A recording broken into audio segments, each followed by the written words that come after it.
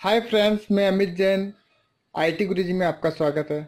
दोस्तों, सबसे ज़्यादा डेस्कटॉप कंप्यूटर्स में यही प्रॉब्लम आती है कि उसको ऑन करते हैं और ऑन करने के बाद उसमें लाइट तो ब्लिंक करती रहती है, पर उसमें डिस्प्ले नहीं आता। तो आज इसी प्रॉब्लम का सॉल्यूशन करके हम बताएँगे।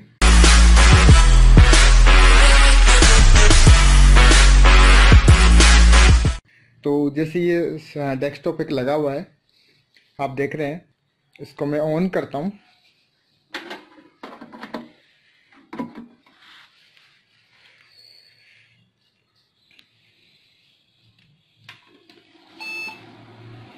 अब इसमें लाइट ब्लिंक कर रही है।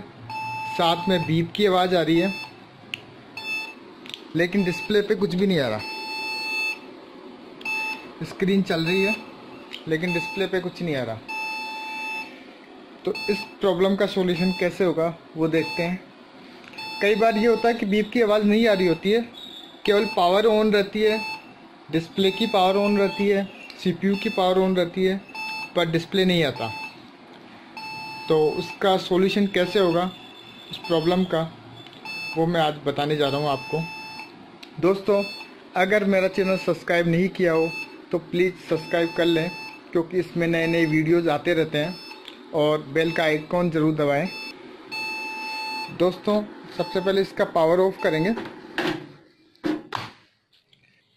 दोस्तों, इसके बाद कैबिनेट को ओपन करना पड़ेगा। स्क्रू लगे रहते हैं यहाँ पे।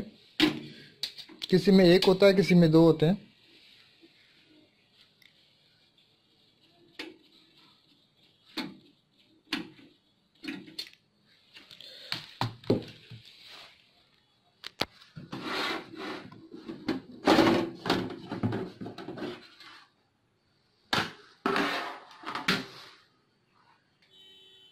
दोस्तों, जो ऐसी प्रॉब्लम होती है डिस्प्ले नहीं आने की, वो 60 से 70 परसेंट चांस उसमें रैम के होते हैं। रैम के ऊपर कार्बन जमा हो जाता है, जिसके कारण डिस्प्ले नहीं आता। तो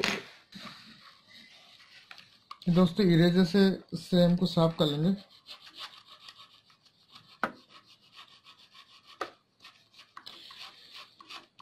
इरेजर से आसानी से इसका कार्बन साफ़ हो जाता है। तो ये सबसे बेस्ट ऑप्शन होता है।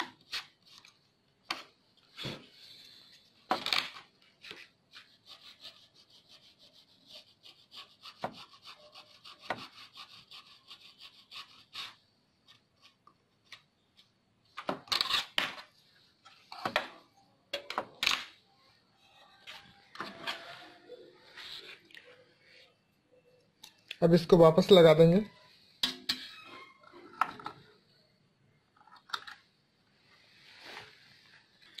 लगाते समय ये ध्यान रखना चाहिए कि इसमें जो लोक है, जो लोक है, इसके हिसाब से इसके स्लोट में लगाएँ। इसके स्लोट में भी इसी तरीके के लोक बने हुए रहते हैं।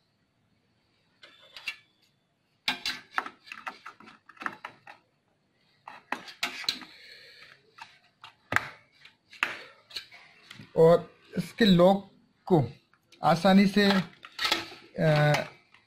इसको बंद कर दें। अगर ये प्रॉपर तरीके से बंद नहीं होता है तो रैम शॉर्ट हो सकती है आपकी। ओके दोस्तों, इसको अपन वापस चला के देखेंगे।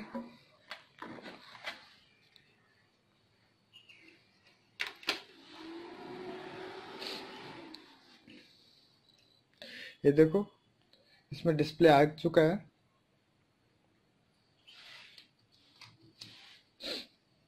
और आपका डेस्कटॉप ऑन हो गया है।